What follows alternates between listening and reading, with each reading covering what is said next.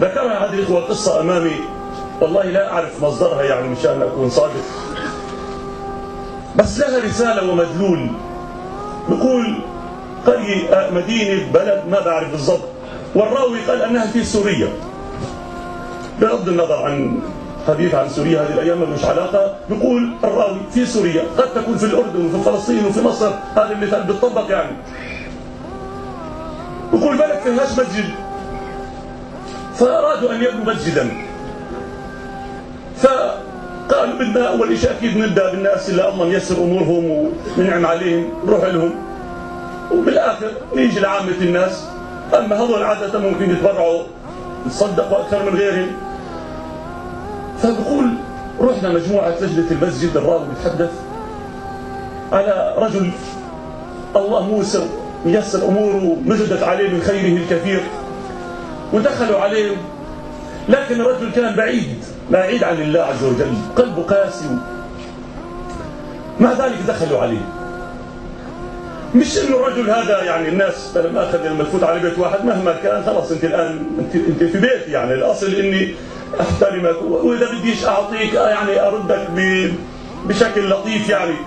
بيقول الراوي فهذا الرجل صاحب القلب القاسي وال ف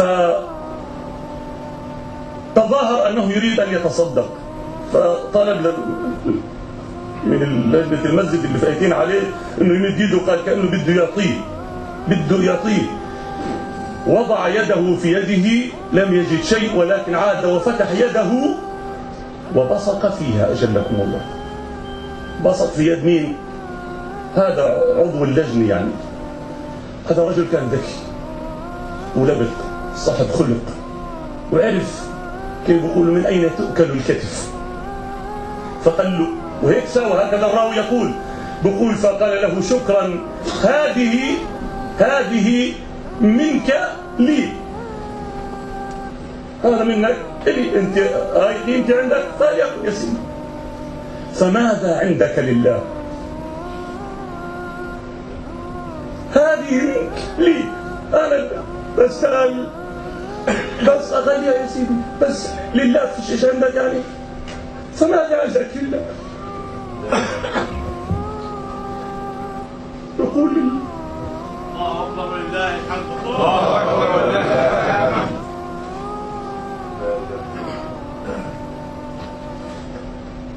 أنا مسميه صاحب القلب القاسي لا أظن بتصورش في في أحلك الأحلام. إن مسلم يعمل هيك. لكن كانت له الله كأنه أراد أن يكون فيه الخير.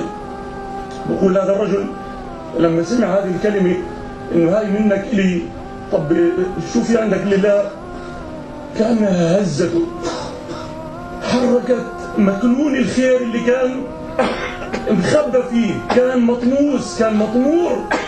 لله أنا ابصق بيدك وأقول لك هذه لك وانت بتقول لي طب ماشي مقبوله منك. وماذا لله يقول الراوي هذا المشهد هزه هز اركانه هز كيانه ومباشرة وعلى الفور كان الانقلاب في موقفه. ما خرجوا ما خرج هؤلاء إلا وهو متعاهد ببناء هذا المسجد كله على نفقته.